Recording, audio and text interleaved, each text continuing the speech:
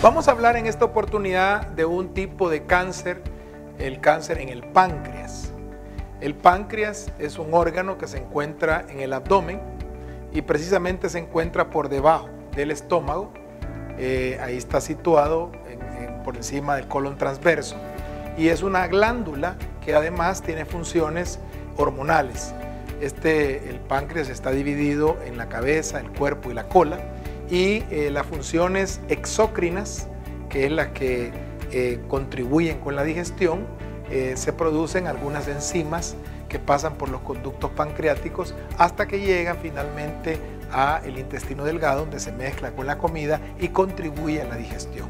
Por otro lado, también el páncreas tiene una parte que es endocrina, es decir, produce hormonas.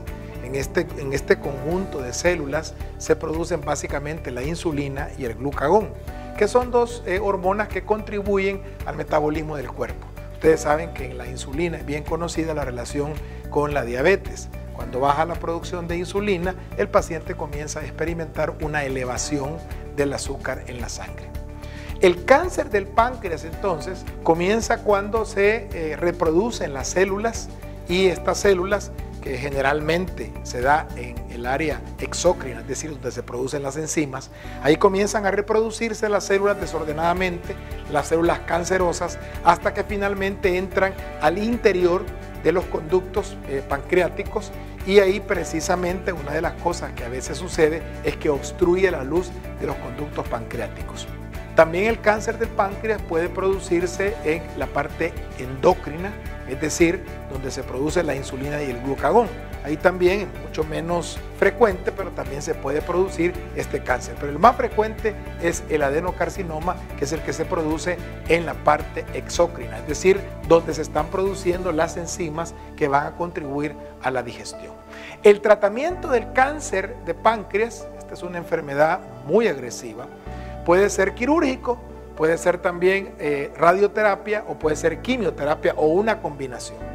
Cuando el cáncer se localiza en la cabeza del páncreas y está en estados iniciales, se podría practicar una operación que eh, es para eliminar la cabeza del páncreas, el duodeno y el estómago.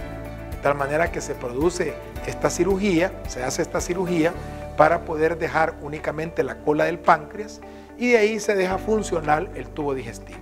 Existe otra alternativa cuando el tumor está en la cola, ahí casi siempre se tiene que quitar también el vaso, la proximidad con los vasos eh, que alimentan el vaso, eh, parte del estómago y por supuesto esta cirugía le puede ofrecer al paciente que se elimina el tumor, eh, sin embargo la enfermedad casi siempre sigue presente.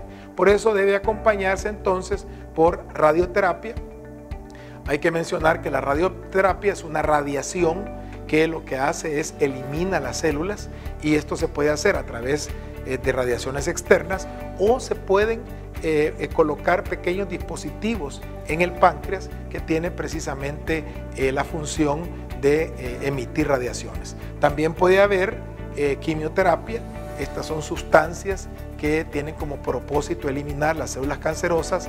Eh, se pueden hacer a través de una inyección periférica o eh, tratamiento oral o bien se puede inyectar esta quimioterapia en eh, la arteria pancreática para que localmente pueda afectarse el tumor.